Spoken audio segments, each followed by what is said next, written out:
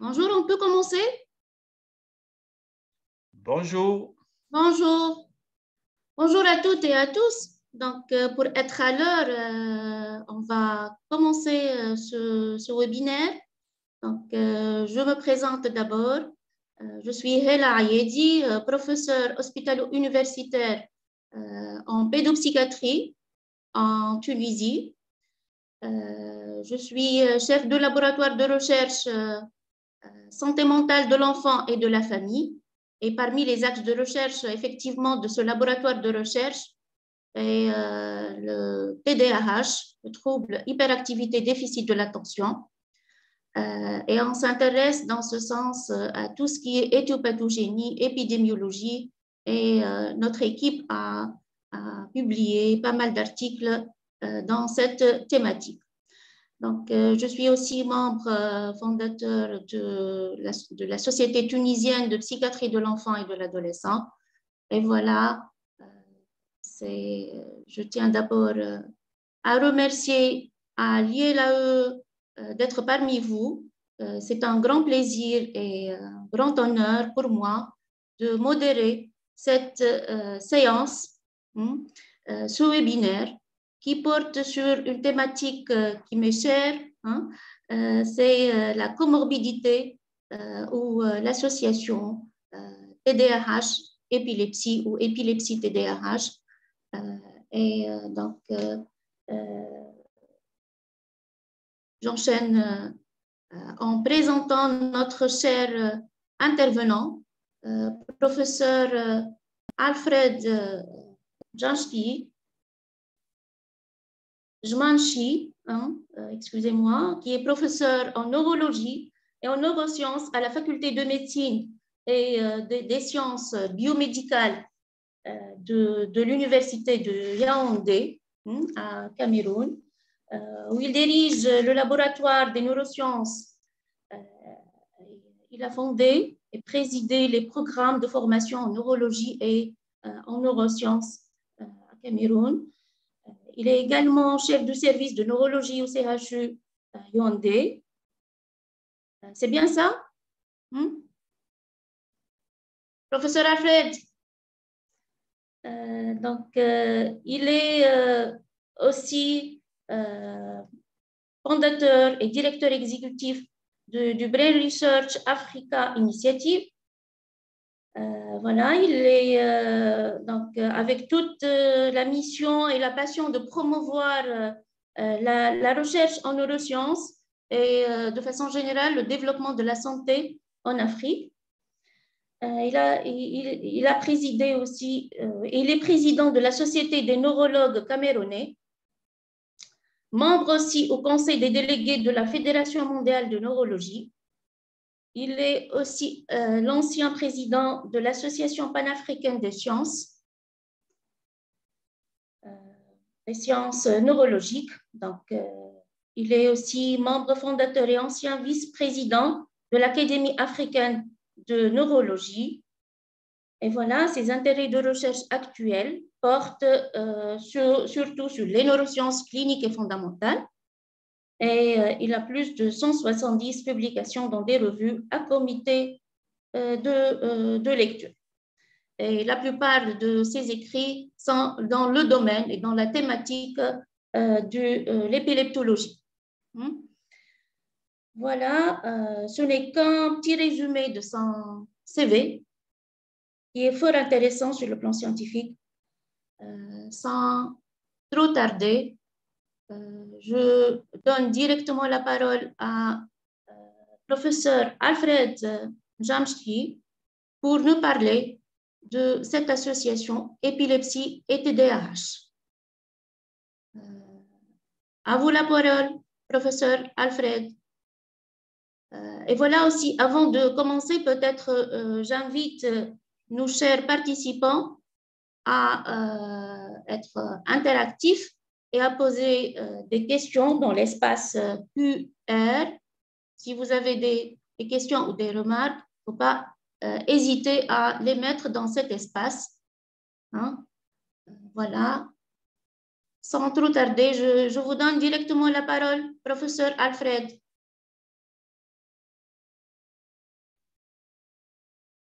Bonjour et merci pour l'introduction. Euh, je suis là avec le professeur Hubert Désiré Mbassi, qui est neuropédiatre et professeur dans la même faculté que moi et neuropédiatre à la Fondation Chantal Bia. Et, et, avec qui nous avons travaillé sur cette thématique. Et comme notre présentation a été enregistrée parce qu'on avait peur des problèmes de connexion, je pense que si la, technologie peut jouer cette présentation et nous serons disponibles pour des questions après la présentation. Merci beaucoup.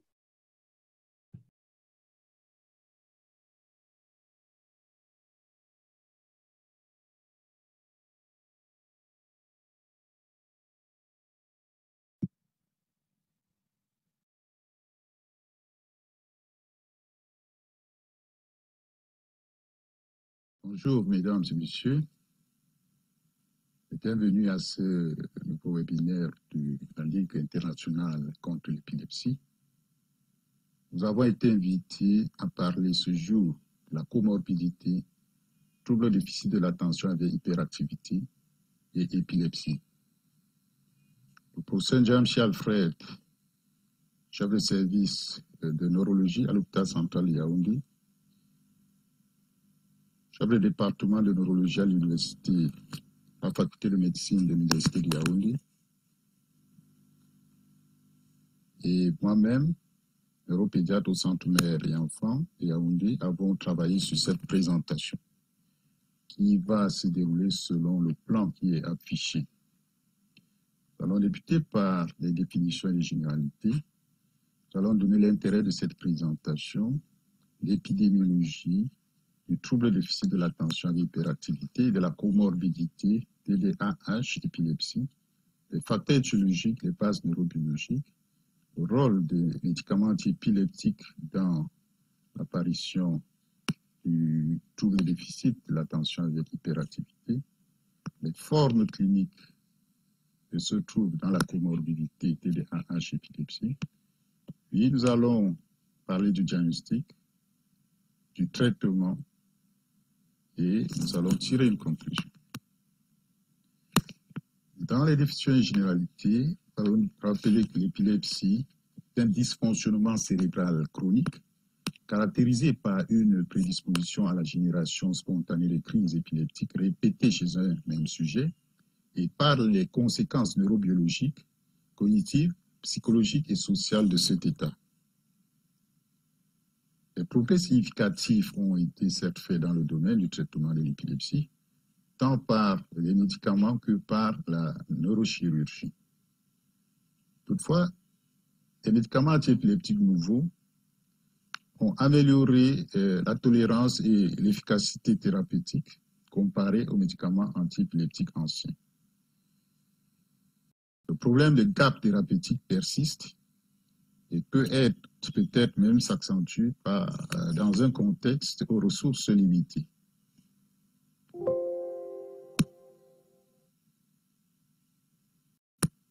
Les médicaments antiépileptiques et l'épilepsie elle-même ont sur le sujet euh, des conséquences qui peuvent entraver euh, sa scolarité, la scolarité du patient et ou son intégration socio-professionnelle. On peut citer comme ça la perturbation du sommeil, qui sera soit en excès, soit euh, somnolence diurne ou somnolence à l'école, une baisse de la vigilance avec inattention, un impact sur l'assiduité à l'école avec un absentéisme plus élevé. Lorsqu'il y a des compensations, diminution des horaires d'études, la baisse des performances scolaires et les difficultés d'intégration scolaire et socio-professionnelle, surtout lorsque les crises sont survenues à l'école ou sur le lieu de travail. Le trouble déficit de l'attention avec hyperactivité, lui, est un trouble neurodéveloppemental qui associe trouble attentionnel, impulsivité et hyperactivité motrice. Il est essentiellement hétérogène. Son évolution est chronique à tous les âges de la vie. Son retentissement au niveau personnel, scolaire, psychosocial et familial est souvent néfaste et invalidant. Sa co-occurrence avec l'épilepsie euh, pose des problèmes d'ordre diagnostique, thérapeutique et pronostique. On décrit généralement trois formes cliniques du trouble déficit de l'attention avec hyperactivité en fonction de l'intensité des symptômes constitutifs. Nous avons la forme mixte avec inattention, impulsivité, hyperactivité, qui est la plus fréquente en consultation de neuropédiatrie ou de, neuro, ou de pédopsychiatrie. La forme à hyperactivité, impulsivité prédominante, qui est très bruyante. La forme avec inattention particulière et peu ou pas d'hyperactivité motrice. Les enfants dans ces derniers groupes sont plus en retrait socialement et ont moins de problèmes de conduite. Le diagnostic du TDAH, TDAH est bien codifié. Les critères diagnostiques sont donnés par différentes versions du manuel diagnostique et statistique, différentes versions de la classification internationale des maladies, les recommandations de bonne pratique de la haute autorité de santé en France. Euh, pour le diagnostic du TDHA avec euh, le DSM-4, on requiert la présence de 6 des 9 items pour la forme avec inattention et 6 des 9 items pour la forme avec hyperactivité, impulsivité.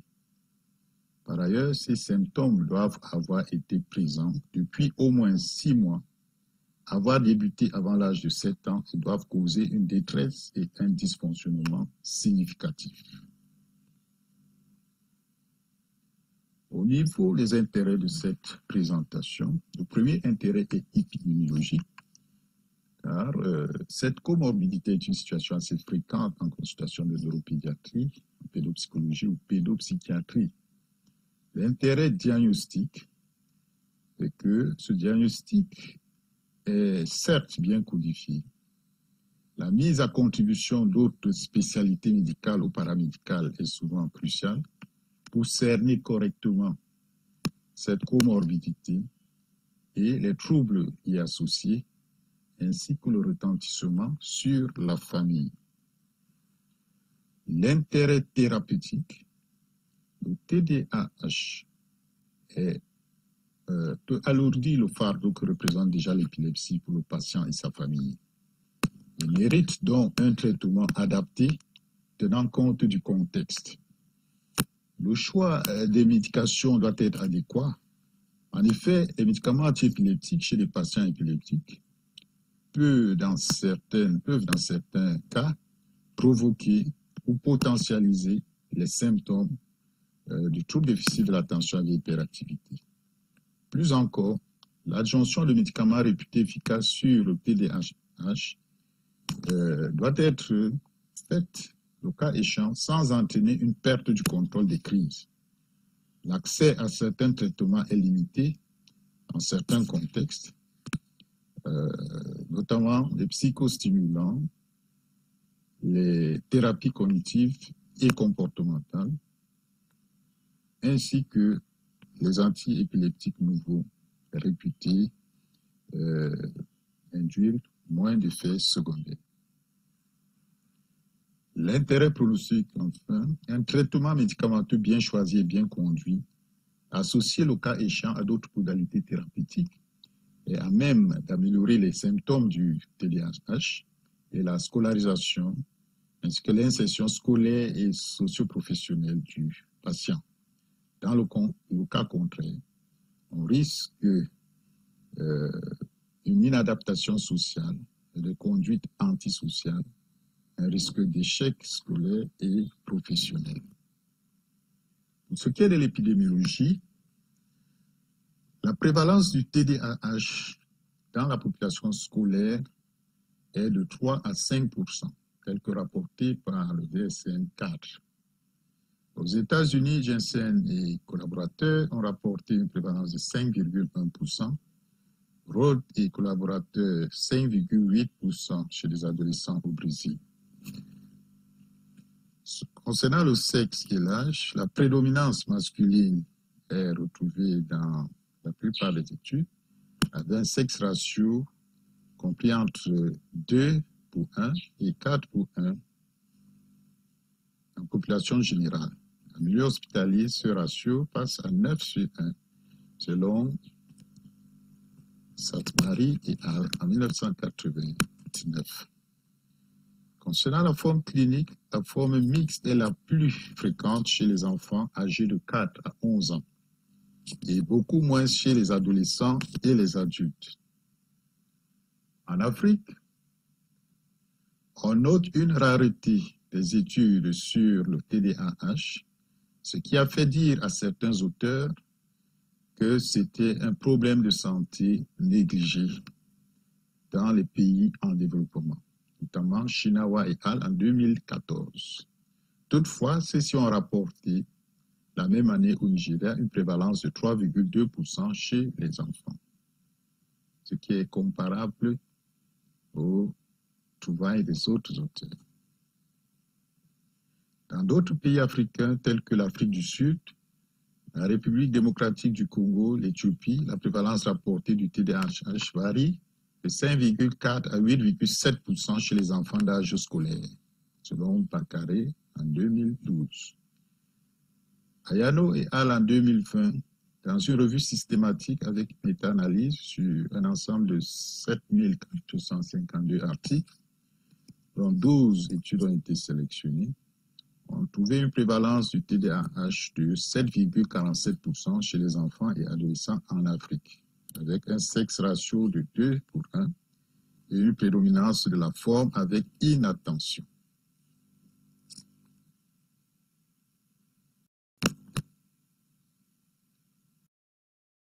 Pour ce qui est de l'épidémiologie de la comorbidité TDAH-épilepsie, la prévalence peut varier de 8 à 77% selon les études et les critères diagnostiques du TDAH qui ont été utilisés. Euh, c'est ce que montrent les études de Williams et Hall en 1998, Cohen et Hall en 2013. Olmsted en 1955 avait retrouvé une prévalence de la forme complète de TDAH de 8% chez les patients épileptiques alors que Ferry et Al en 1997, quant à eux, rapportaient chez 77% de leurs patients souffrant d'encéphalopathie épileptogène au moins c'est un des symptômes du TDAH. Les enfants souffrant d'épilepsie ont donc plus de risques de développer un TDAH, selon Bruce et Al. Ce que montre cette figure, notamment la partie gauche, comparé au contrôle, nous avons une colonne épilepsie qui est nettement plus grande que euh, celle de gauche qui concerne les contrôles. De même, euh, la forme avec inattention est la plus fréquente. Les auteurs pensent que la prévalence de la comorbidité TDAH-épilepsie est sous-estimée et sous-traitée en raison de l'imputabilité des symptômes aux effets secondaires des médicaments antiépileptiques ou encore conséquences des crises épileptiques mal contrôlées. Davis et Hall en 2010, Sedun et Hall en 2003 ont trouvé que les enfants TDAH positifs avaient 2,7 à 5 fois plus de risques de présenter une épilepsie que les contrôles. les enfants avec épilepsie ont plus de problèmes d'inattention, comparé aux enfants de la population générale, selon une étude de Impel et Al en 1995. Concernant le sexe, dans certaines études, il n'y a pas de prédominance de sexe, mais dans une grande majorité d'études, la prédominance masculine est rapportée pour cette comorbidité. En Afrique, Ken et Al 2017 ont étudié la prévalence les facteurs de risque, les comorbidités neurocomportementales de l'épilepsie chez les enfants kenyans, mais cette étude n'avait pas pris en compte le trouble déficit de l'attention de l'hyperactivité, ni les troubles du spectre autistique. Au Cameroun, Petino et Al en 2020, dans une étude transversale sur les comorbidités associées à l'épilepsie chez l'enfant dans un hôpital tertiaire au Cameroun, ont rapporté une prévalence hospitalière le TDAH de 30,2% chez les patients épileptiques. Maintenant, nous passons aux facteurs étiologiques et physiopathologiques de la comorbidité TDAH épilepsie. Le TDAH est un trouble multifactoriel. Il n'y a pas de cause univoque identifiée. Sont évoquées plusieurs hypothèses incluant certaines qui pourraient également expliquer l'occurrence de l'épilepsie. Avant les influences génétiques, la prédisposition génétique similaire pour le TDAH que pour l'épilepsie est possible.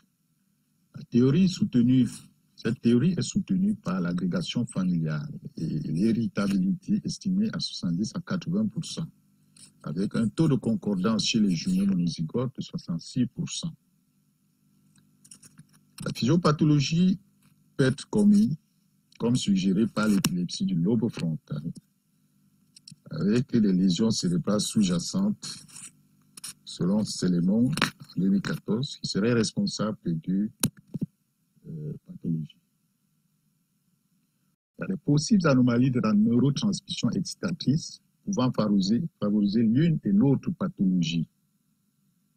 Avant, les théories catécholaminergiques, le TDAH, euh, qui suppose une dysrégulation des systèmes dopaminergiques et noradrénergiques, responsable d'une hypoactivité corticale dans certaines régions du cerveau, serait responsable euh, des symptômes. Le TDAH est associé à un déficit de volume de la substance grise corticale du cerveau.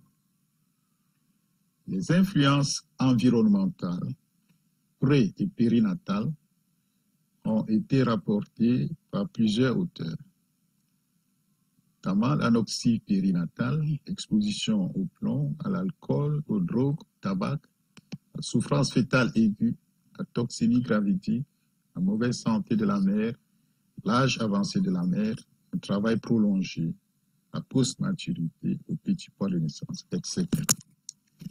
Les facteurs psychosociaux ne sont pas des restes, notamment le bas niveau socio-économique, un dysfonctionnement familial une détresse parentale. Concernant le type d'épilepsie, le TDAH, il est rapporté que les effets chroniques des crises épileptiques réfractaires pouvaient favoriser l'apparition des symptômes du TDAH, selon Empel et al. Les épilepsies focales complexes. Certains auteurs ont trouvé une association entre l'épilepsie bénigne de l'enfant à pointe centrotemporale et le TDAH, ou encore une épilepsie absence et le TDAH. Les enfants avec épilepsie, avec de mauvaises performances scolaires, ont souvent de l'inattention en 59% des cas, contre 20% pour les enfants épileptiques avec de meilleures performances scolaires. Et ceci pourrait être en rapport avec des dysfonctionnements dans plusieurs régions du cerveau. Les études d'imagerie, ce qui est les bases neurobiologiques, les études d'imagerie par résonance magnétique, euh, imagerie fonctionnelle et de neurophysiologie montrent des anomalies de structure dans plusieurs régions cérébrales ainsi qu'un volume cérébral total réduit de 4 à 5 chez les enfants TDAH positifs, ce qui corrobore l'hypothèse d'un trouble précoce du neurodéveloppement. Les lobes frontaux, les noyaux gris et le cervelet sont les régions les plus touchées, ce qui suggère l'implication des circuits préfrontaux thalamo-cérébelleux dans les symptômes du TDAH. Le dysfonctionnement du lobe frontal chez les enfants TDAH positifs a été euh, euh, souligné par Castellanos en 2001. La diminution globale du métabolisme du glucose euh, a été mise en évidence au niveau des régions frontales, ce qui suggère un dysfonctionnement des circuits préfrontaux striataux, selon une publication de Dixten et collaborateurs en 2006. Les théories neuropsychologiques, par défaut d'inhibition et des anomalies des fonctions exécutives, sont également évoquées.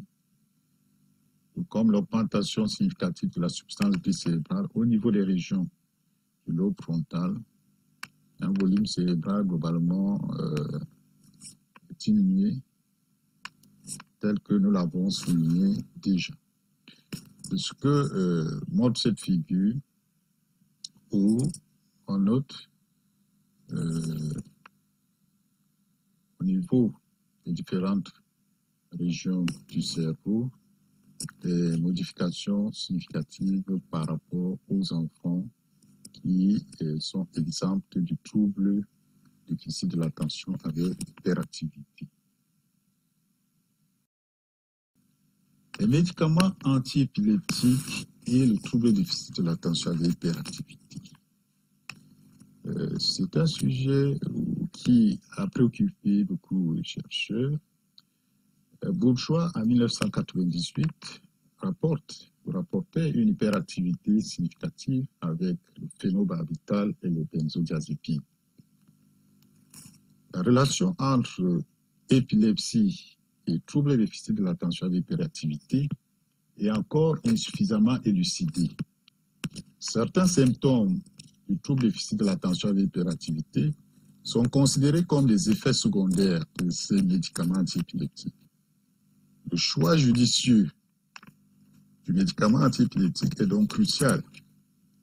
En effet, plusieurs médicaments antiépileptiques ont des effets secondaires neurologiques ou neuropsychiatriques, notamment la lenteur idiomotrice ou idéatoire, l'inattention, divers troubles du comportement, même l'agressivité, qui peuvent faire échange avec les manifestations du trouble déficit de l'attention avec hyperactivité. Certains médicaments antiépileptiques ont le pouvoir donc d'induire ou d'aggraver les symptômes du TDAH. D'autres, par contre, sont mieux tolérés et susceptibles d'améliorer certains des symptômes du TDAH. Quelques médicaments antiépileptiques à effet néfaste sur le comportement et la cognition. Alors, citer le phénobarbital peut induire une sédation, une baisse de la vigilance et euh, des pertes de produits dont impact négatif sur la cognition, euh, surtout lorsque l'utilisation est prolongée. Valproate de sodium, qui peut donner une hyperactivité chez certains patients, n'avait un effet néfaste moindre sur la cognition comparé au phénobarbital. La phénétoïne peut induire une nervosité, une insomnie, nous connaissons euh, euh, le rôle de la nervosité dans l'induction des comportements hyperactifs ou autres comportements inadaptés, perturbateurs. Le topyramate peut induire un manque de concentration, une confusion, une somnolence et un étourdissement. Pardon, il manque un M.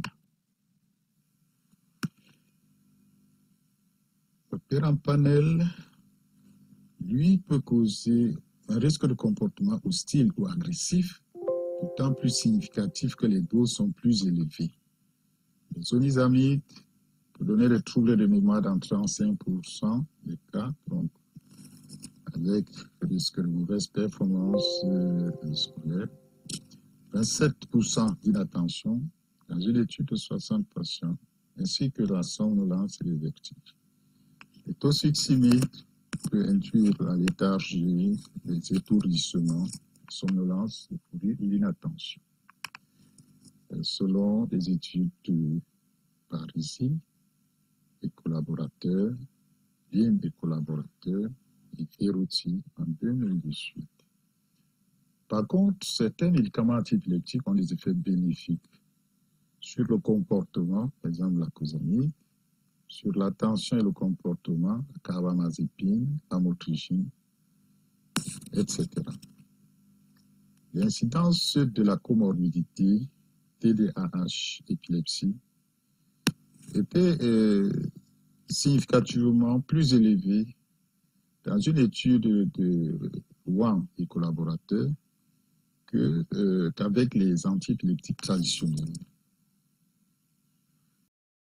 Donc, lorsqu'on a euh, je me reprends, l'incidence de la comorbidité TDAH épilepsie était significativement plus élevée pour les médicaments antiépileptiques traditionnels qu'avec les médicaments antiépileptiques de nouvelle génération. Ça, c'est selon une étude de Wang et collaborateurs en 2019.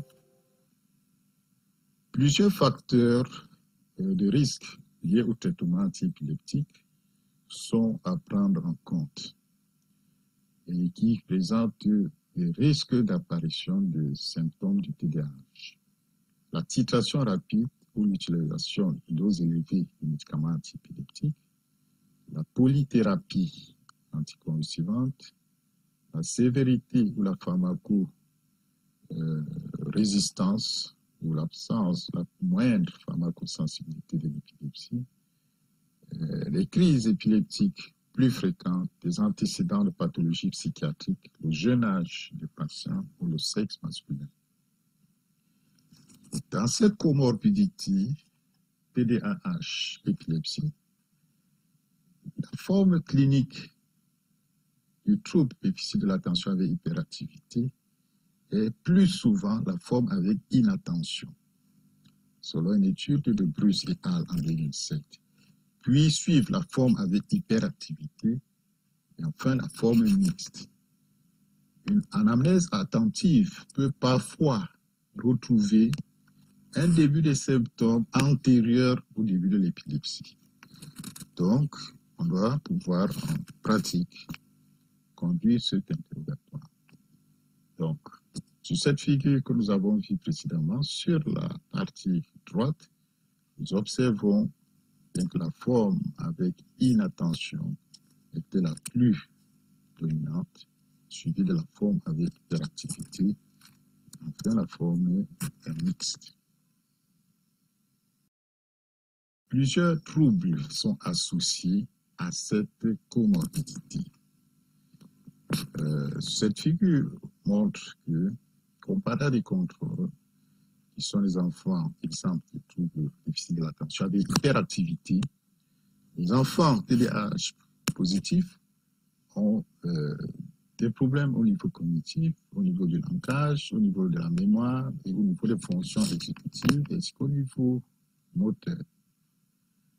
Le diagnostic de ce, cette comorbidité est euh, d'abord clinique. On doit conduire une anamnèse des symptômes du trouble déficit de l'attention avec l'hyperactivité et de l'épilepsie. Donc, une bonne histoire des troubles est à recueillir, une anamnèse familiale et scolaire, l'évaluation du retentissement occasionné par les symptômes et les comorbidités, et au besoin, on peut s'aider de collaborateurs d'autres spécialités médicales ou paramédicales. Pour ce qui est de l'inattention, c'est un concept multidimensionnel qui inclut l'éveil, la vigilance, la distractibilité, l'attention euh, soutenue qui fait défaut. Et, et, cette inattention peut être repérée dans les situations de jeu où l'enfant passe très vite d'un jeu à l'autre, ou encore dans des situations d'études où l'enfant est facilement euh, distrait, euh, il manque d'attention soutenue, ne reste pas concentré longtemps. C'est par exemple lors des devoirs scolaires, lors des tâches répétitives, l'enfant a une moins bonne persévérance à l'effort. Passe d'une activité à l'autre, comme on a dit. Euh, ces symptômes peuvent être décrits différemment par l'entourage familial ou scolaire. On peut dire que c'est un enfant qui semble ne pas écouter, il est distrait, il semble rêveur, il manque de concentration, il ne peut travailler seul. Le deuxième symptôme constitutif du trouble, c'est l'impulsivité. Cette impulsivité est motrice, verbale ou cognitive. L'enfant n'attend pas son tour dans un jeu ou dans une activité de groupe ne respecte pas les consignes de l'adulte, ou bien il, les retient mal, ou ne les retient pas du tout, surtout si celles-ci ne sont pas répétées. il répond trop vite et prématurément aux sollicitations sans attendre l'ensemble des instructions, euh, instructions qui lui auraient été nécessaires pour donner une réponse correcte? Ces gestes sont brusques, non prémédités, avec euh, parfois des conséquences euh, négatives, euh, destructrices, tant pour lui que pour son entourage. C'est un enfant qui a des performances scolaires fluctuantes selon l'occurrence de cette impulsivité. Il peut bâcler le travail, peut se montrer trop exigeant et égocentrique pour ses sollicitations ou ses demandes à ses parents. Il interrompt facilement une conversation et parfois il est décrit comme impoli et intrusif. Euh, le troisième symptôme constitutif du trouble déficit de l'attention à l'hyperactivité, l'hyperactivité. Elle est motrice, est bruyante, elle est excessive ou inappropriée pour l'âge développemental du patient. C'est un enfant qui bouge sans cesse, il n'arrête pas de parler, il ne tient pas en place, il perturbe la classe, il touche à tout. Il fait des bruitages incongrus avec sa bouche, etc. Il peut être décrit comme turbulent et souvent animé de mouvements inutiles ou inadéquats. Être oppositionnel, agressif et de toute façon imprévisible. Euh, en nota bene, nous disons que les symptômes du trouble déficit de l'attention avec hyperactivité doivent être présents dans au moins deux contextes de vie quotidienne. Par exemple, à l'école, ou à la maison, ou dans les loisirs, euh, au moins dans deux contextes. Et ces symptômes doivent occasionner une gêne fonctionnelle deux patterns d'interaction sont à rechercher, particulièrement pour ce qui est du retentissement sur la famille. Il faut rechercher l'escalade réciproque qui aboutit à des rapports de force permanents entre l'entourage patient et lui-même, et l'inversion de la hiérarchie familiale, où le malade peut dicter sa volonté, et parfois les parents exténués au bout du rouleau se laisse faire, se laisse dicter. C'est le rôle du pédopsychologue d'identifier ce genre de situation pour remettre en place la hiérarchie familiale. Le tableau clinique peut varier avec le contexte environnemental. Euh, lorsque l'enfant est supervisé par un tiers, Lorsque les tâches sont structurées, les consignes sont répétées, parfois c'est la présence du père ou une personne qui représente l'autorité qui peut faire qu'il soit moins actif et plus posé. Et je pense aussi que les situations nouvelles peuvent euh, faire que le symptôme soit moins euh, parlant. Euh, temps, ce trouble tend à s'atténuer avec l'âge. Et comme on a dit, la gêne suscitée par le symptôme et la perception, le vécu de la famille peut être variable selon la culture et selon l'environnement. Et ça peut expliquer euh, que le recours à un avis spécialisé euh, ne soit pas toujours euh, fait dans certains contextes comme le nôtre. Les troubles associés au TDAH euh, sont à rechercher parce qu'ils peuvent conditionner le pronostic. Il peut avoir des troubles de la coordination motrice, des troubles de la motricité fine et du graphisme dans l'écriture, les difficultés d'apprentissage dans le langage oral, écrit, l'écriture, les mathématiques, avec risque accru d'échec scolaire les difficultés d'insertion scolaire que nous avons évoquées, les difficultés dans les relations avec ses pairs, avec parfois risque de mise à l'écart, les troubles des conduites, les troubles oppositionnels avec provocation, mais aussi les comportements addictifs comme addiction aux écrans et addiction aux substances. Les variations de la symptomatologie euh, sont connues avec l'âge la symptomatologie peut être complète ou non. et l'intensité des symptômes peut varier selon les moyens mis en œuvre pour euh, euh, accompagner l'enfant. Chez l'enfant d'âge préscolaire, dès la première année de vie, il est agité, il touche à tout, il est turbulent, il est oppositionnel, il est coléreux, il est enclin à des troubles du sommeil et de l'alimentation. N'appréhende pas facilement les situations de danger. Il y a donc un risque accru d'accidents domestiques, y compris les intoxications, les traumatismes. Le diagnostic formel est difficile euh, avant, euh, avant un certain âge. Chez l'adolescent, euh, généralement, le trouble évolue vers une hyperactivité moindre, mais avec une impulsivité et une inattention qui persistent. Les comorbidités, comme on a dit, conditionnent le pronostic, l'échec scolaire est la règle ou bien plus euh, probable, le rejet par les pairs habituels, ce qui peut entraîner une faible estime de soi, avec risque accru de dépression et parfois recours à des substances addictives, avoir des troubles de conduite et euh, de toute façon, risque d'évolution vers une personnalité antisociale est, très probable.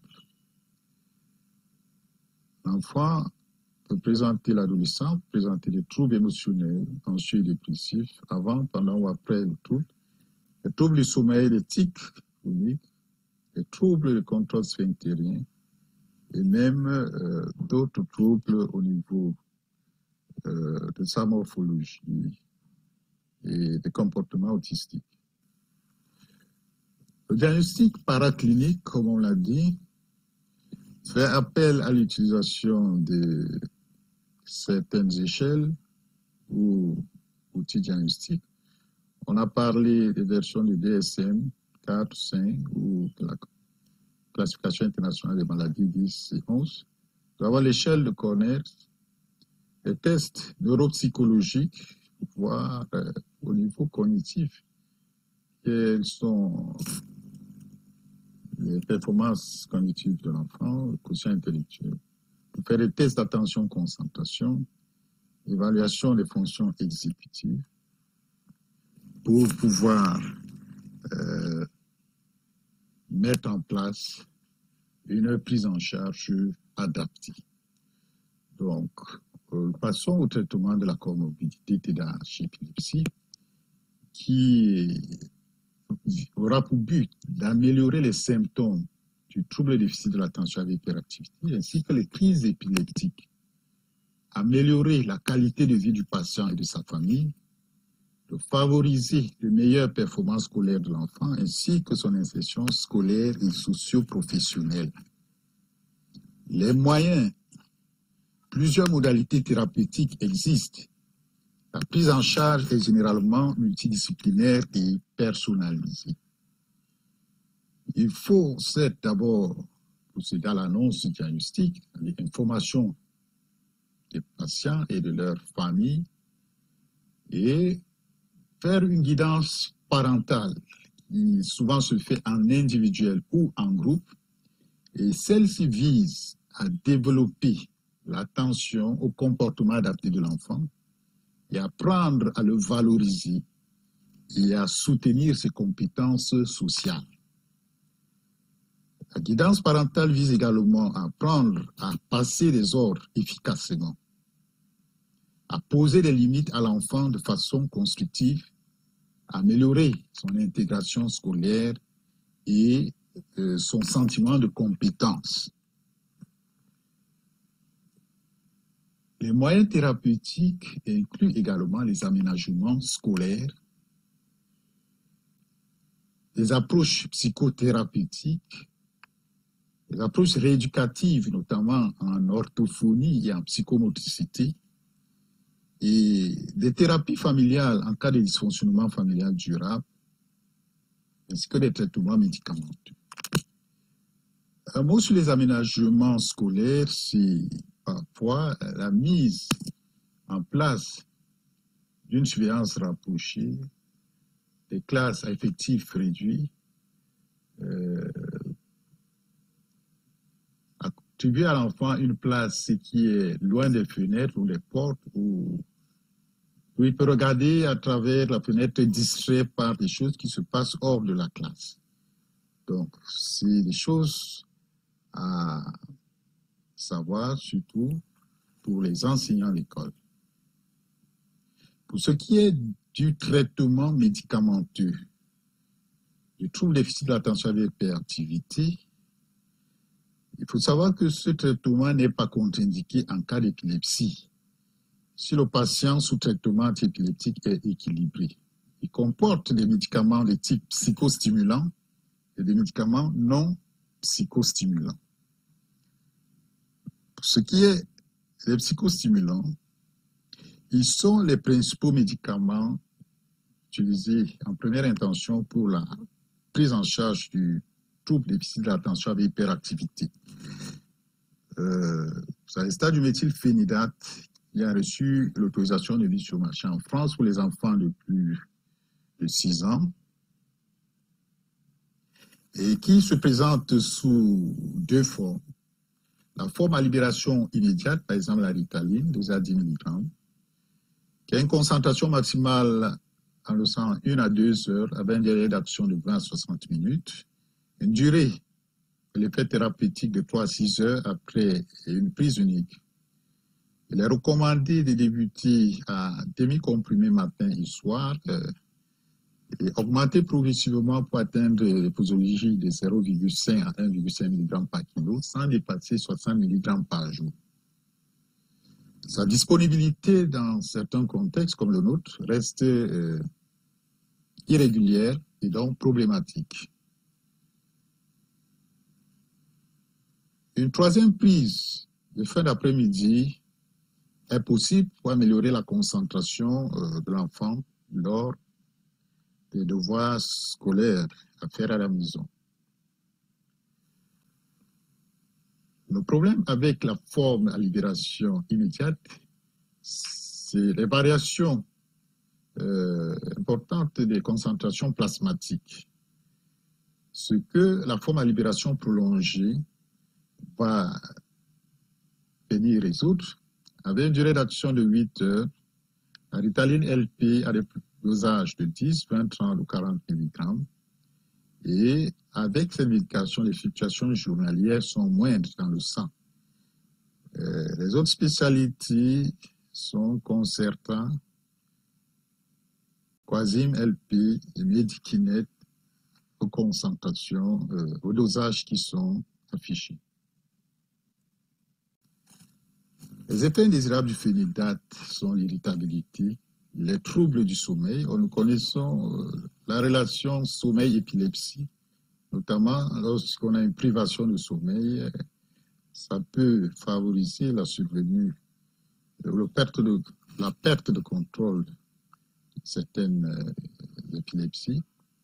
Nous avons la diminution de l'appétit avec sans perte de poids. Mais on n'a pas démontré scientifiquement qu'on avait une baisse du seuil épileptogène euh, dans la survenue, le euh, cas échéant, de crise épileptique qui reste exceptionnelle, euh, exceptionnellement induite par le méthylphénidate. Quelques précautions sont à prendre en pratique. Tant que l'enfant reste symptomatique euh, du trouble de l'attention et l'hyperactivité, le traitement doit se poursuivre. Et tant qu'il y a efficacité et bonne tolérance. Pendant les vacances, il est recommandé de suspendre la médication, l'enfant souvent n'ayant pas d'activité nécessitant une trop grande concentration. Et la présence des parents ou des membres de la famille étant assurés pour surveillance, euh, ce côté est acceptable. Toutefois, la suspension du médicament les week-ends reste discutée parce que souvent, les enfants ont des devoirs à faire le week-end et là aussi, leur concentration, leur attention est utile. Autre précaution, la suspension pendant les vacances est de réévaluer l'intérêt du traitement. Si les symptômes réapparaissent à l'arrêt du traitement, c'est que l'enfant en a encore besoin. Et parfois, il est utile de restaurer l'appétit et le sommeil.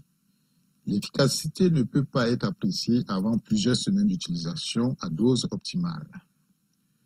En dehors des psychostimulants, nous avons dit qu'il y avait des médicaments non psychostimulants, les antidépresseurs tricycliques, dont une alternative possible, sont une alternative possible, mais euh, pas recommandée en première intention.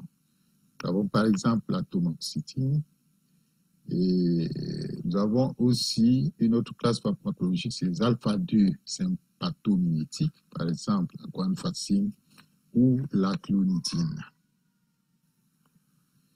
Les traitements non médicamenteux du trouble difficile de l'attention avec hyperactivité, on a parlé de la psychoéducation, nous avons parlé des approches cognitives, l'amélioration euh, de la mémoire du travail et autres fonctions d'efficience par les rééducations en psychomotricité, en orthophonie, les aménagements scolaires et parfois l'établissement d'un projet personnalisé de scolarisation euh, la littérature gauche de certaines études qui euh, parlent de régime alimentaire, euh, mais ces résultats sont controversés. Certaines études font l'éviction de colorants alimentaires, d'autres l'éviction de sucre. nous n'avons pas trouvé l'étude pouvant soutenir euh, l'intérêt de cette modalité thérapeutique. Nous avons vu les médications qui vont avec le trouble difficile de l'attention avec l'hyperactivité, mais comme nous traitons de la comorbidité avec l'épilepsie, nous abordons les traitements anticonvulsivants. Nous euh, ne prétendons pas étudier tous les médicaments, mais juste donner les principes de leur utilisation. Le choix du médicament antiépileptique doit tenir compte, certes, du type d'épilepsie ou du syndrome épileptique, de la forme clinique du TDAH coexistant chez le patient ou induite par un précédent traitement antiépileptique, les effets secondaires connus du médicament antiépileptique visé et les doses les médicaments nécessaires pour contrôler efficacement les crises et les associations de médicaments antiépileptiques utilisés le cas échéant. Nous avons dit que, euh, selon plusieurs études, les médicaments antiépileptiques de nouvelle génération avaient moins d'effets secondaires. Lorsque c'est possible, on peut les utiliser, mais très souvent, ils sont onéreux euh, ils viennent euh, et, peu disponibles dans certains contextes, il faut dans tous les cas tenir compte du pouvoir d'achat du patient et de la disponibilité habituelle du médicament dans sa localité ou son pays de résidence.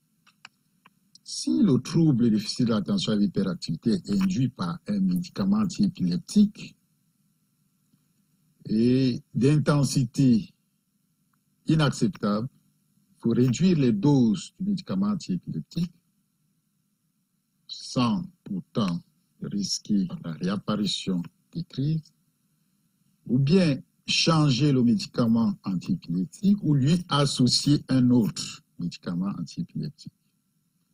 Il faut dans tous les cas éviter une augmentation rapide des doses du médicament si perte du contrôle des crises pendant le traitement de la comorbidité TDAH épilepsie, rediscuter le choix et les doses du ou des médicaments antiépileptiques utilisés. Mesdames et messieurs, nous arrivons à la conclusion de cette présentation avec euh, take-home messages qui sont le trouble déficit de l'attention, qui, nous le rappelons, est un trouble neurodéveloppemental multifactoriel avec une symptomatologie hétérogène et une évolution chronique de l'enfant à l'adulte, a un retentissement personnel, scolaire, psychosocial néfaste et invalidant. Sa co-occurrence avec l'épilepsie euh, est rapportée, euh, les chiffres, de l'ordre de 7 à 77 euh, Celle-ci alourdit le fardeau habituel de l'épilepsie et pose des problèmes d'ordre diagnostique et thérapeutique nécessitant une prise en charge multidisciplinaire. Le trouble déficit de l'attention avec hyperactivité est présent en Afrique, quoique rarement étudié. Le traitement de la comorbidité TDAH et épilepsie est médicamenteux, notamment anticonvulsivants, psychostimulants et autres, y compris des prises en charge non médicamenteuses. L'accès à des traitements et à ces traitements reste limité dans les pays en développement euh, où le gap thérapeutique se creuse davantage. Mesdames et messieurs, euh, merci pour votre attention. Nous avons mis là, euh, toute fin utile, le mail du professeur James Alfred, professeur titulaire de neurologie à la faculté de médecine, et qui est le président du Brain Africa, qui est une organisation scientifique. Et le mail du, de votre de serviteur, le professeur Mbassiawa, euh, et à ces contacts, nous pouvons répondre à certaines questions qui peut-être ne seront pas répondues euh, de vive voix au cours de cette présentation. Merci beaucoup, euh, mesdames et messieurs.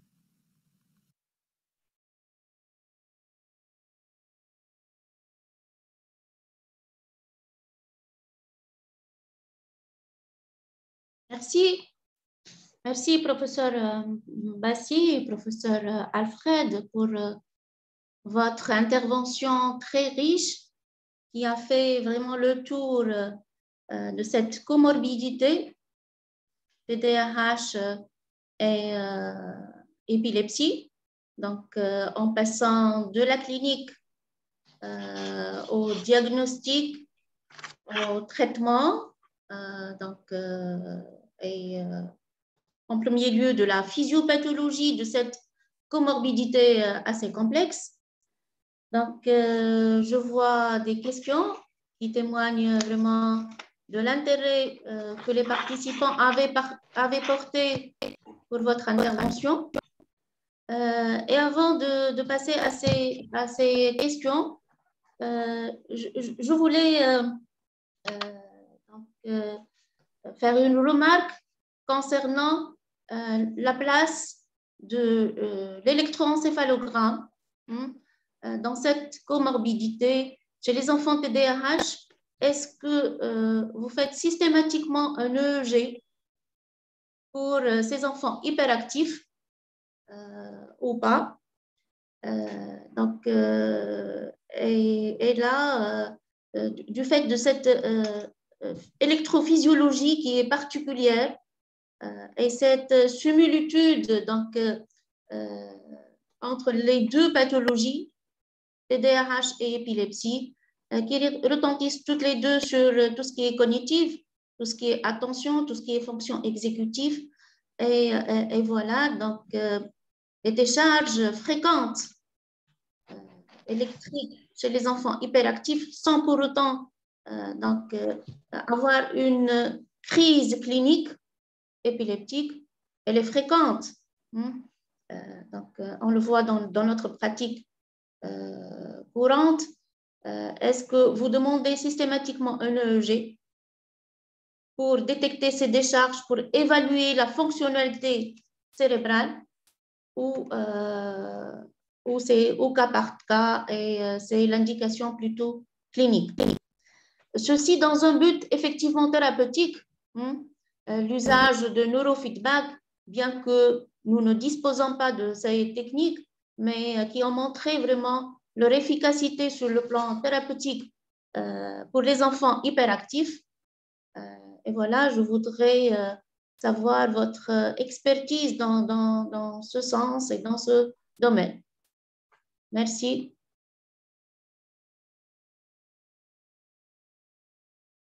Merci, Merci Madame la modératrice. je suis le professeur Tassi. Euh, pour la question de l'EIG, euh, je dirais que nous avons deux situations. Nous avons les enfants qui sont épileptiques au départ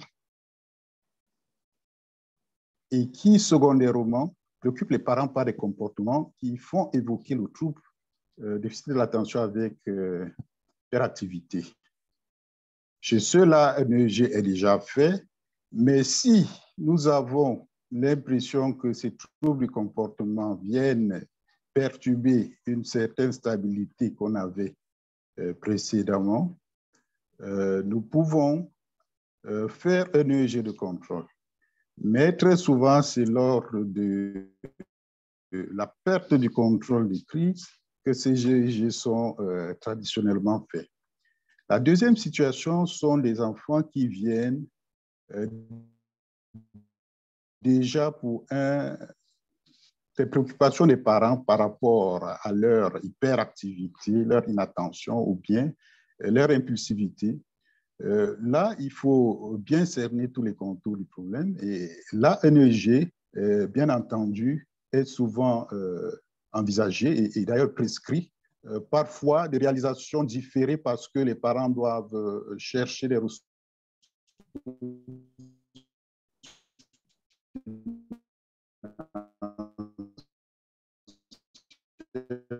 pour le faire, euh, mais euh, très souvent nous le faisons euh, dans le cadre des investigations. Parfaitement. Établir.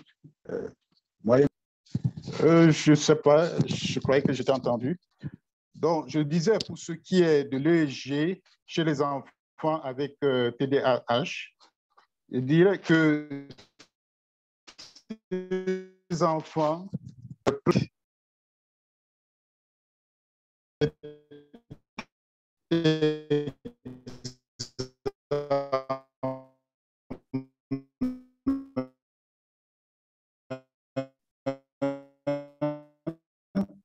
euh, cela réunit en, en, fonction des enfants qui sont épileptiques connus et chez AH, nous pouvons vérifier avec les médications en cours. Et très rarement, on a besoin de refaire un contrôle EG pour s'assurer qu'il n'y a pas eu du nouveau au niveau des tracés. Je ne sais pas si j'ai été entendu cette fois. Merci. Oui, oui, oui, parfaitement. J'ai bien entendu et merci pour votre réponse. Donc, quelques questions euh, des participants. Ben, une question, est-ce qu'on est TDAH ou on le devient? Hmm, C'est la première question. Oui, merci pour cette question. Je dirais que euh, la réponse est oui et non, puisque nous avons dit qu'au niveau euh, physiopathologique, on n'avait pas une cause univoque. Euh, nous avions plusieurs théories, dont certaines pouvaient se manifester dès la vie in utero, comme les facteurs génétiques, l'exposition in utero à certains toxiques ou à certaines situations, ou bien euh, un trouble neurodéveloppemental. Dans ce cas, on dirait qu'on est, on naît avec. Par contre, on a également signalé des causes acquises euh, en post-natal, donc après la, euh, la, naissance, et qui peut faire que cette hypothèse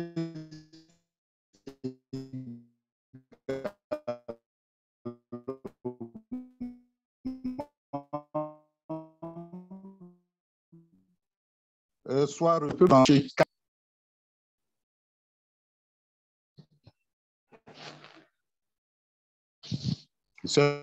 Il y a un problème de connexion, je pense. Pas si j'ai été entendu. Pas, pas très bien, pas parfaitement. Euh, ici, effectivement, euh, là-bas, la, la, bande passante, je ne sais pas le réseau il est faible. Je reprends par rapport à est-ce qu'on est TDAH positif ou bien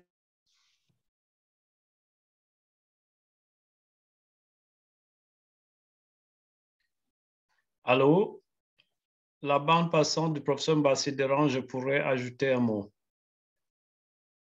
Merci. Oui. Oui, Vous pouvez. tout à fait. Oui. La, la réponse à la question, c'est oui et non. Oui, dans le cas où les problèmes génétiques commencent déjà euh, en in in utero, et non parce qu'il y a certains facteurs environnementaux qui peuvent jouer aussi dans l'utérus, mais qui peuvent jouer euh, quand l'enfant est déjà né. Et le tout est combiné par le nouveau concept qui date depuis une vingtaine d'années maintenant de l'épigénétique. On sait que les facteurs environnementaux, parfois même comportementaux, peuvent modifier l'expression génétique sans pour autant modifier le code génétique lui-même pour l'expression d'un caractère ou non. Donc, euh, la réponse courte, c'est oui et non. Parfaitement. Oui, je, suis de votre avis. Donc, euh, c'est multifactoriel. Euh, beaucoup de facteurs qui interviennent, aussi bien génétiques euh, et particulièrement l'épigénétique, mais il y a aussi des facteurs de l'environnement donc, qui vont accentuer, qui vont donner cette expressivité des gènes. Et voilà, donc, ça, ça, ça modifie tout, cette épigénétique. Et le TDAH, il est aussi bien, c'est multifactoriel, beaucoup de facteurs qui interviennent, comme vous l'avez euh, déjà bien dit. Une autre question aussi, donc euh, voilà, la question de nos chers participants. Euh, il y a vraiment une difficulté euh, donc, euh, pour poser le diagnostic avant 5 ans. hein. alors que le diagnostic peut être posé même à l'âge de 3 ans en fonction du développement comportemental de, l'enfant et surtout quand on sait très bien qu'un diagnostic précoce il est plus bénéfique euh, pour limiter ces comorbidités qui augmentent avec l'âge. Euh, que faire? Donc, euh, cette question. Professeur. Oui, merci, Bassi, Madame la modératrice. Oui, merci pour la question. Je dirais que le diagnostic formel peut parfois être difficile. C'est vrai qu'il peut être évoqué. Parce que dans le développement normal d'un enfant, on sait qu'autour de deux ans, il y a l'apparition du nom, N-O-N, et qui s'accompagne souvent d'un caractère oppositionnel qui, euh, pour un départ, ne va pas euh, inquiéter les parents. Et à ces âges-là, l'enfant explore son environnement, il est curieux, il est en phase d'apprentissage, euh, de développement de l'éveil intellectuel. Et donc, il peut sembler euh, bouger sans cesse ou ne pas tenir en place. Et il y a d'autres comorbidités qu'il faut pouvoir rechercher, d'autres troubles du développement de l'enfant. Donc, parfois, ça prend un certain temps pour être euh, complètement élucidé et euh, pour qu'on puisse arriver au diagnostic. Parfois, lorsqu'on a ce diagnostic avant, ce qui est sûr, c'est les moyens non médicamenteux qui vont être mis en place. L'enfant peut s'agiter parce qu'il a un déficit quelque part de moyens instrumentaux pour communiquer et ces moyens non médicamenteux peuvent permettre de gérer l'enfant dans ses différents comportements jusqu'à ce qu'il ait l'âge où il est éligible pour l'utilisation de psychostimulants. Parfois, à ces âges-là, le tableau clinique a nettement euh, changé et parfois la médication n'est plus utilisée. Donc, le diagnostic est possible, mais il faut, il faut être patient, il ne faut pas être euh, euh, trop précipité dans euh, ce diagnostic, mais on sait que ces problèmes qui accompagnent ce trouble, le cas échéant, sont pris en charge dans euh, les séances de psychomotricité, de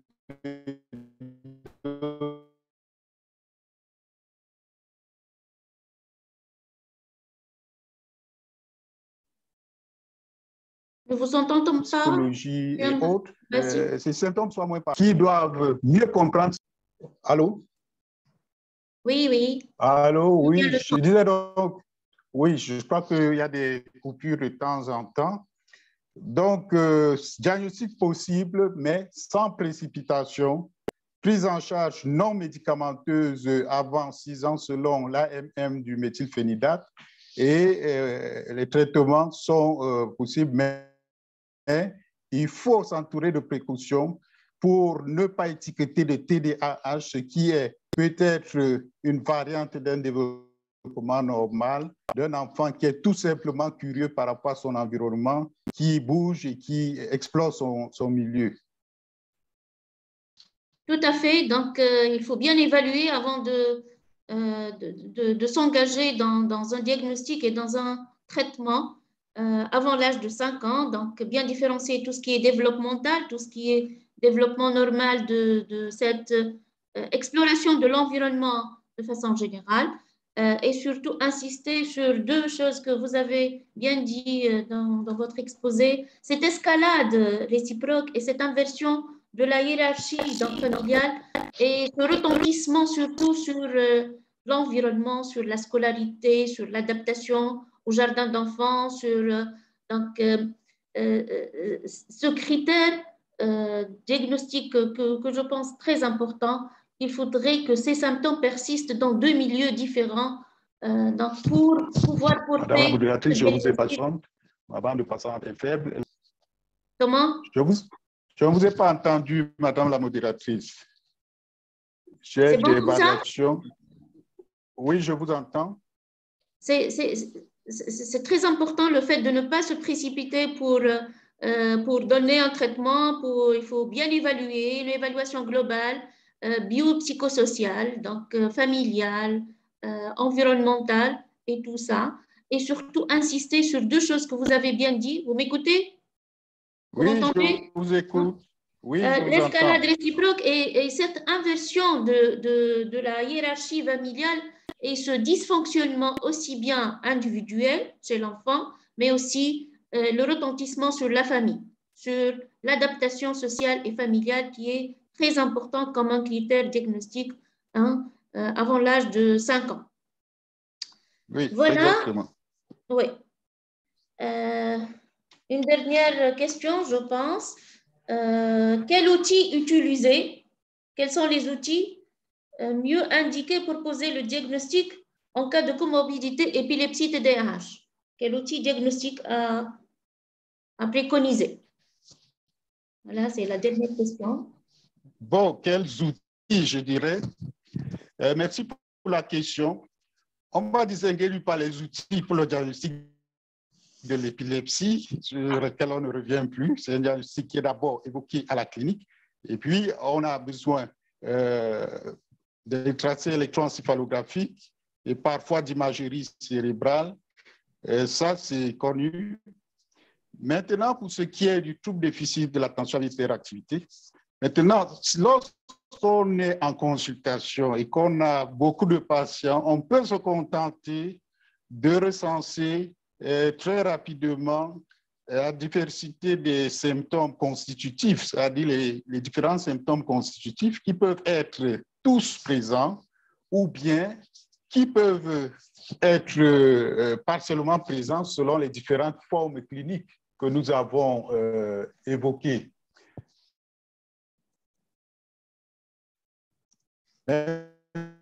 Maintenant, on peut demander de faire une euh, plus soutenue, mais les outils que nous utilisons habituellement euh, sont euh, la définition telle que mentionnée dans le DSM 4 ou 5, ou bien l'échelle de Cornet. Et généralement, ça permet d'avoir déjà le fond. Maintenant, il faut rechercher chez cet enfant un éventuel problème au niveau cognitif, s'il y a un déficit cognitif, ça peut expliquer beaucoup de choses. Un enfant qui a un QI très bas peut présenter tous ces symptômes sans qu'on ne soit dans une situation de TDAH proprement dit. Donc, il faut pouvoir, euh, en plus, faire une évaluation euh, psychologique de la famille, voir des problèmes parfois qui ne vous sont pas rapportés immédiatement à la consultation.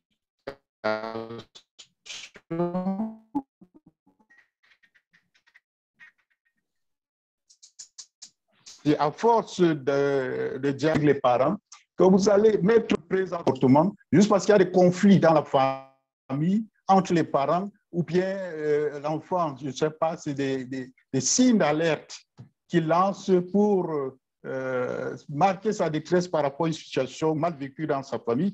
Et c'est pour dire que ces outils-là, ils sont euh, nombreux. Il y a les outils du TDAH proprement dit, les outils de l'épilepsie, les outils des quotients, du quotient intellectuel, les tests de l'attention et maintenant l'évaluation pédopsychologique. Il y a plusieurs outils et c'est pourquoi je disais qu'il faut faire intervenir les paramédicaux et, et les confrères d'autres spécialités pour avoir euh, une image complète de cet enfant et des autres troubles possibles, possiblement associés.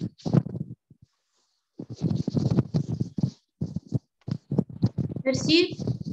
Madame la modératrice. Merci beaucoup pour, euh, euh, ces clarifications. Euh, je pense que c'est clair pour les participants. S'il n'y a pas d'autres questions, on passe à la deuxième présentation. On enchaîne. Bien ça?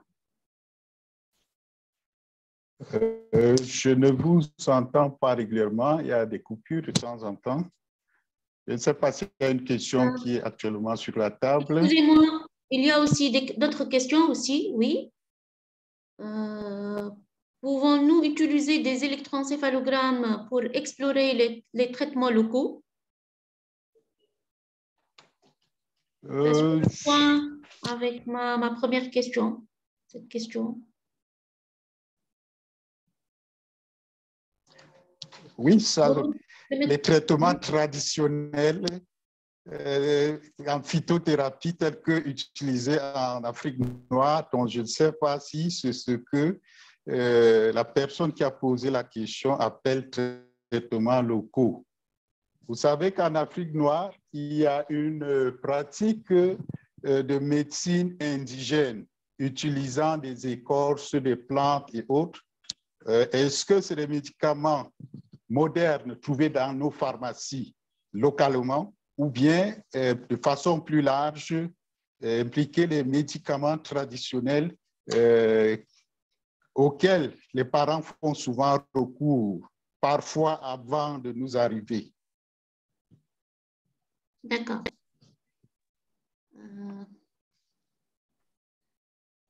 Euh, Connaît-il des déficiences des oligo-éléments en cas de TDAH, euh, en cas de comorbidité de TDAH, effectivement, avec l'épilepsie? Et connaît-il de l'intoxication aux métaux euh, lourds, particulièrement le plomb Merci pour la question. Dans les facteurs, les multiples facteurs que nous avons évoqués, l'exposition au plomb été signalée euh, après euh, la naissance, c'est euh, retrouvé auteurs. Maintenant, pour ce qui est de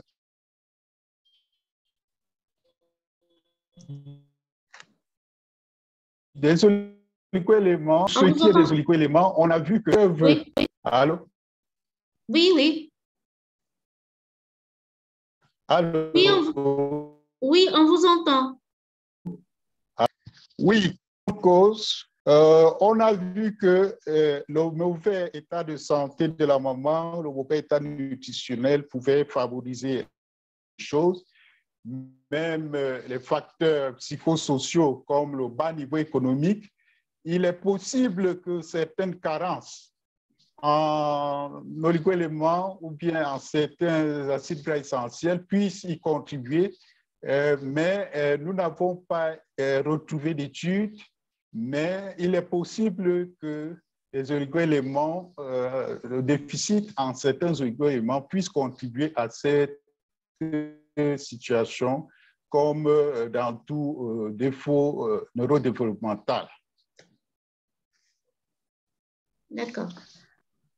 Une dernière question par rapport hein, aux enfants TDAH chez qui on fait un EEG et on trouve des anomalies épileptiques, par exemple des pointes dans l'épilepsie à paroxysme rolandique sans crise clinique, épilepsie bénigne. Que faire, traiter ou non l'épilepsie? Bon, euh, jamais en épileptologie, on dit qu'un EEG euh, euh, normal exclut une épilepsie anormale que chez les... Donc, chez le sujet TDAH positif, si les symptômes qu'il a présentés ont eu un caractère stéréotypé et une certaine euh, zone du cerveau qui pourrait être impliquée, euh, nous pensons que euh, la présence de peuvent permettre, euh, nous autoriser de mettre un traitement antiépileptique chez ce malade. Et de toute façon, l'évolution de ces symptômes à la lumière aussi de la clairance des anomalies à l'EEG peut permettre de savoir si nous avions eu raison et surtout que la tolérance soit bonne et que ces médicaments n'ajoutent pas euh, d'autres problèmes à cet enfant. Merci. Voilà la dernière question par rapport à tout ce qui est dit. Est-ce qu'on peut considérer le TDAH, euh, euh, on va faire la différence entre un TDAH syndromique en cas d'association et un TDAH proprement dit, TDAH isolé Bon, ce que nous avons... Oui, le professeur Alfred. Euh, non, non, je laisse le professeur Bassi. Je vais dire juste un dernier mot. Le professeur Bassi peut répondre à cette question et puis je dis un, un petit mot concernant les médicaments traditionnels. Oui, euh, merci beaucoup. Euh, pour ce qui est du TDAH, nous avons vu dans la littérature que euh, parfois, ces symptômes précèdent de plusieurs mois ou même semaines ou années la découverte de l'épilepsie. Donc, ça suppose que au départ, les symptômes avaient une certaine intensité, on a eu le temps d'explorer, et jusqu'à ce que peut-être au niveau des prises en charge, on ne voit pas une amélioration significative et que euh, on refasse des EEG et qu'on trouve des anomalies euh, qui euh, indiquent la mise sous médicaments antiépileptiques. Donc, nous pensons que ces patients doivent être traités lorsque nous avons quelque chose de cohérent mais on ne doit pas non plus euh, hésiter à arrêter un traitement lorsqu'on n'est pas, euh, on ne voit pas l'évidence euh, des bénéfices comparés aux risques chez les patients. Merci, Madame la modératrice.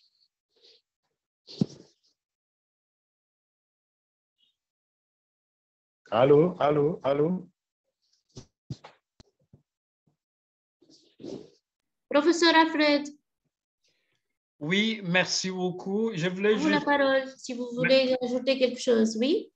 Oui, je voulais juste ajouter concernant la question sur l'EEG et les médicaments locaux que le professeur Bassi a déjà euh, abordé dans le cadre des médicaments traditionnels en Afrique subsaharienne. Je pense que ça existe partout dans différentes civilisations. C'est une très bonne euh, question si c'est à ça que euh, le participant faisait allusion.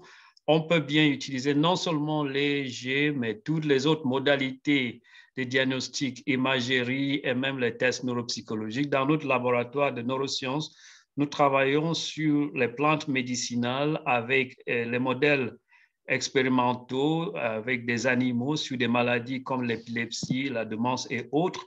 Et je pense que surtout, comme je viens de faire votre connaissance, professeur Ayadi, euh, avec votre expérience, on pourrait échanger pour voir dans une problématique aussi complexe que, que cette comorbidité de deux maladies complexes, on peut voir s'il y a des plantes médicinales qui ont un effet.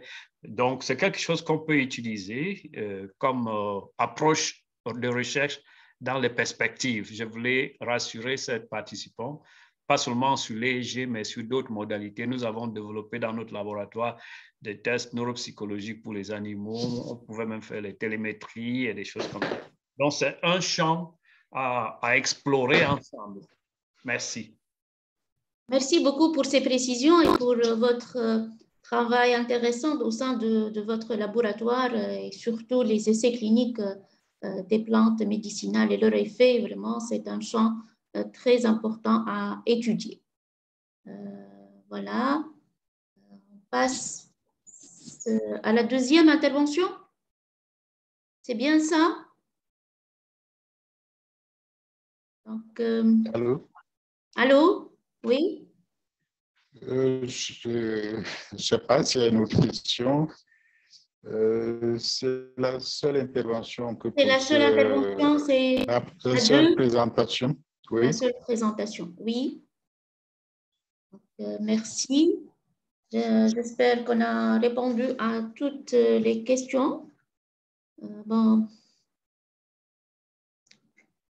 Il reste une seule, une seule question, peut-être euh, on a encore plus de temps. Comment soutenir hein, un enfant à, à l'école quand les médicaments ont une influence sur le seuil de l'attention.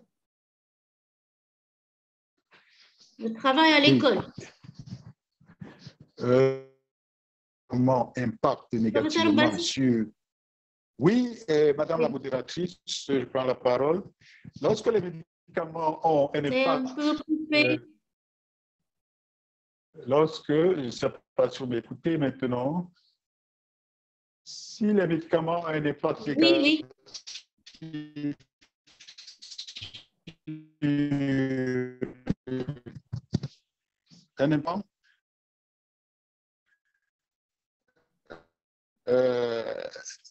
hein, étudiants justice, idéalement que ce soit une école à effectif réduit, c'est-à-dire dans les classes. Docteur Oui, j'ai des problèmes de bande passante. Je ne sais pas si vous m'entendez. Maintenant. Un problème de, connexion, de son. Allô? Allô? Oui, oui, oui, oui. Oui, je dis que. Oui. Oui, merci. Oui. Euh, allô? Oui, oui. On vous entend. C'est parfait. Est-ce que vous pouvez répéter la question? Euh, voilà comment soutenir un enfant à l'école quand les médicaments ont une influence sur le seuil de l'attention? Euh, Quel soutien apporter à ces enfants? Oui, lorsque les médicaments impactent négativement sur euh, le seuil de l'attention, il faut euh, bien que l'institutrice dans la maîtresse d'école soit au courant et qu'elle puisse surveiller de façon rapprochée cet enfant. Idéalement, des classes à effectifs réduits sont recommandées, c'est-à-dire le rapport nombre d'enseignants par rapport au nombre tel que ces élèves puissent bénéficier d'une attention plus rapprochée. Nous avons parlé de, du positionnement de l'enfant par rapport à la classe. Il ne doit pas être près de la fenêtre, près de la porte ou de toute chose pouvant détourner son attention des activités qui sont en cours dans la classe. On a besoin de leur reprendre tâches structurées, des structurées Parfois, ils ont besoin d'un peu plus de temps dans la réalisation des tâches. Allô? Oui, oui, oui, on vous entend, vous entend très bien. Allô? Oui, oui. donc, ils ont parfois besoin, parfois besoin d'un peu plus de temps pour la réalisation des devoirs. Et comme on a dit, le problème ne sera pas uniquement à l'école, mais aussi à la maison, parce que les parents et la famille doivent être mis à contribution, parce qu'il doit y avoir un continuum de prise en charge entre l'école et la maison, et les parents doivent pouvoir accompagner l'enfant dans les tâches et éventuellement euh, marquer la période d'étude de petites pauses pour que l'enfant puisse récupérer au niveau de l'attention. Et c'est comme ça que ça se passe. Et il faut une évaluation régulière. Donc, on doit garder le chat distrait, qu'il ne soit pas inattentif, et de temps en temps,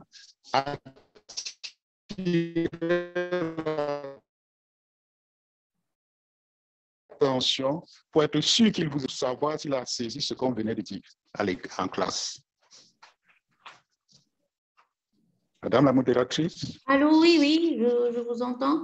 Je voulais juste ajouter que, euh, bien sûr, ce que vous venez de, le dire, c'est très intéressant, ce travail avec l'école, cet aménagement au sein de la classe. Euh, c'est très important pour les enfants hyperactifs et particulièrement en cas de comorbidité. Euh, mais aussi, euh, ça a été très, très bien démontré, l'association entre tout ce qui est médicamenteux, méthylphénidate, s'il y a bien sûr indication et un tableau complet de TDAH, euh, avec les thérapies cognitives et comportementales qui, qui, ont montré une efficacité supérieure que lorsque le méthylphénidate est utilisé seul. Donc,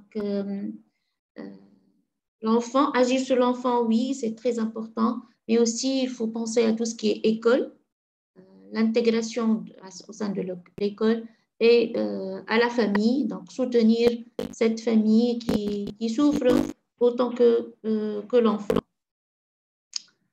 Voilà, donc la, l'avant-dernière question, il y a aussi deux autres questions, professeur Bassi. Hein? Beaucoup de questions. Oui, nous écoutons, oui, nous écoutons. Euh, ça témoigne de l'intérêt vraiment que, que les, les, participants ont porté à votre intervention. Qu'en est-il de l'état nutritionnel en cas de comorbidité épilepsie TDAH Est-ce qu'il y a un changement dans cet état nutritionnel et dans la nutrition de l'enfant? Euh, L'état nutritionnel, bon, pour ce qui est du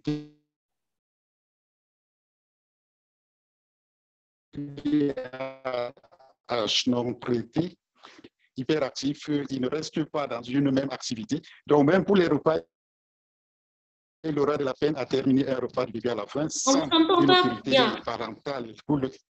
Donc, je disais au niveau nutritionnel. Oui. En raison de l'hyperactivité à table pendant toute la durée de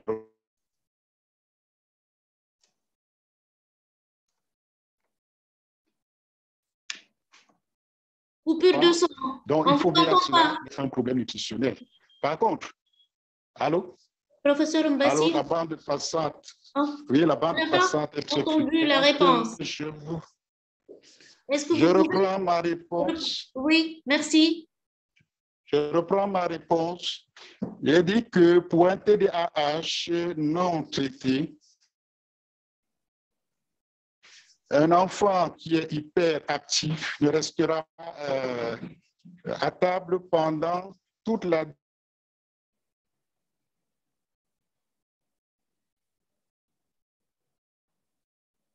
Professeur Mbassi?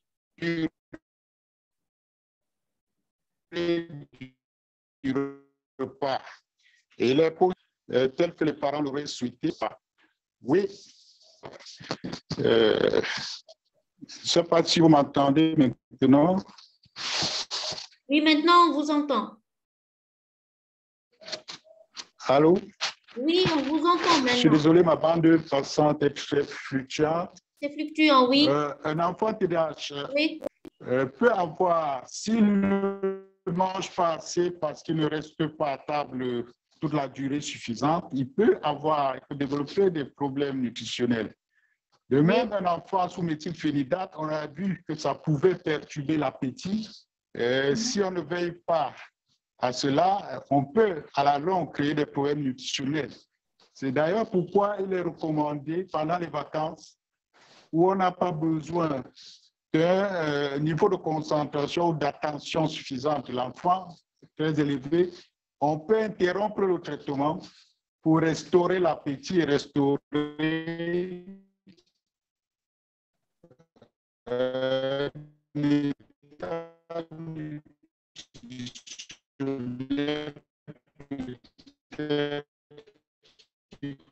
commencer à flanchir. Les médicaments antiépileptiques qui peuvent couper, peuvent tenir un surpoids à raison euh, d'un excès d'appétit. Euh, dans tous les cas, il faut euh, surveiller l'enfant et prendre des mesures correctrices lorsque le besoin se fait sentir. Peut-être l'autre version de, la question par rapport au profil nutritionnel biologique. Hein? le dosage des vitamines D, tout ce qui est acides gras polyinsaturés, euh, tout ça, ça a été démontré qu'ils sont vraiment perturbés en cas de TDAH. Est-ce que vous avez... Euh, Les acides gras polyinsaturés. Oui. Euh, je peux juste faire une spéculation. Par rapport à l'état nutritionnel, je, pense que poser cette question, c'est aussi bien l'alimentation, mais aussi le profil tout court nutritionnel de ces enfants. Euh, en fait, euh, on pense que les oméga 3 et oméga 6 peuvent avoir un intérêt euh, pour ces enfants, comme certains auteurs l'ont dit aussi pour d'autres troubles du développement. Et nous imaginons que s'il y a une carence martiale, nous connaissons le rôle du fer dans le développement cognitif, le rôle de l'iode, de l'iode donc, si tous ces éléments sont apportés en quantité suffisante euh, dans une alimentation équilibrée, euh, normalement, l'enfant ne devrait pas avoir euh, de problème. Mais si on a évoqué un facteur de risque tel que un bas niveau socio-économique, ça va souvent avec des insuffisances d'apport alimentaire et donc une dénutrition chez l'enfant et donc des carences en macronutriments et surtout les micronutriments dont euh, le rôle dans le développement cognitif euh, ne sont plus à démontrer. D'accord, merci. La dernière question, y a-t-il une communauté éthiopathogénique entre les trois formes cliniques de TDAH Forme hyperactive, inattentive et Une communauté éthiopathogénique.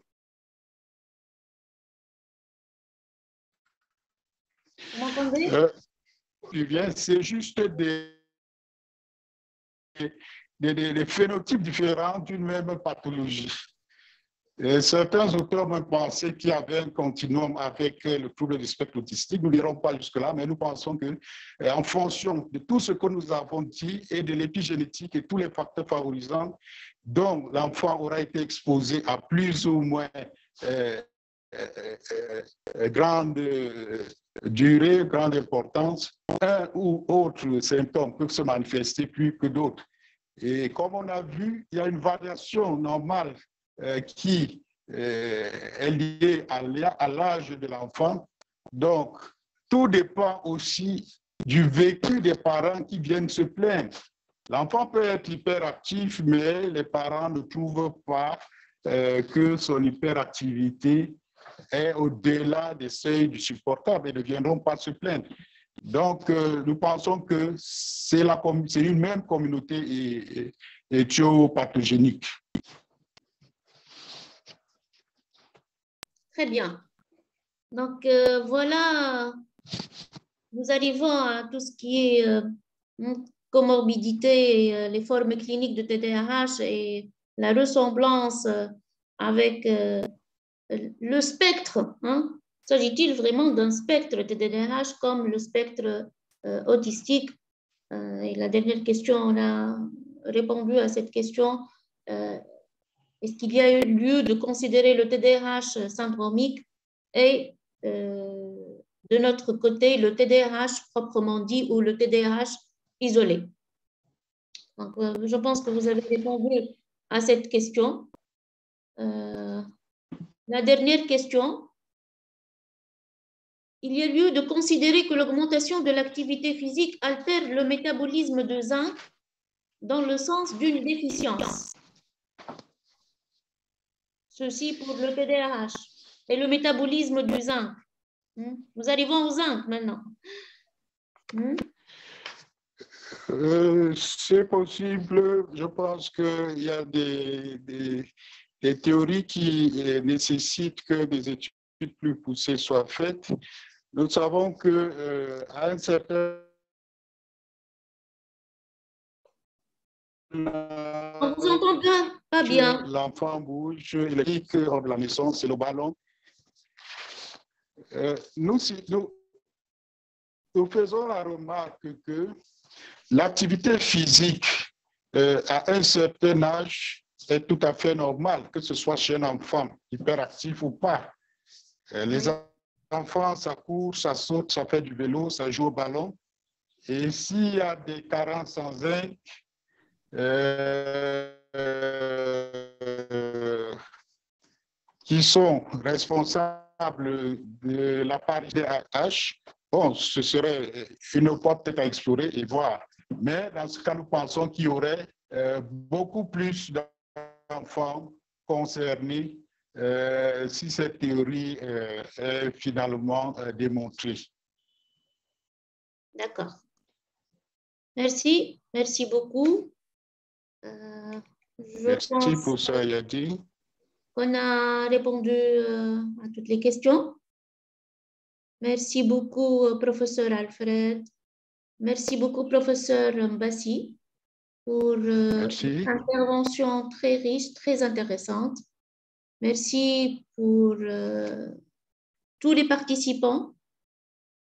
toutes les questions étaient très pertinentes ça a euh, très bien enrichi euh, euh, ce webinaire. Hein. et